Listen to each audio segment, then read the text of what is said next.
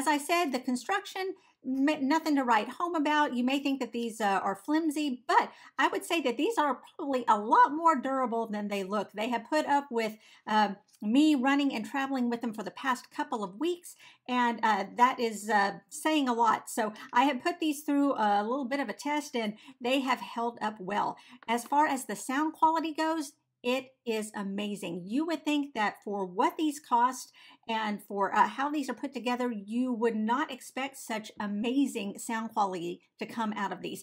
Now, I've listened to audiobooks, podcasts, and several different types of music on these, and every single time they sound crystal clear.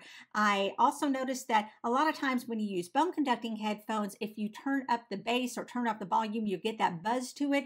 With these, you get the bass without the buzz, and I really, really like that. The sound quality, absolutely wonderful on these.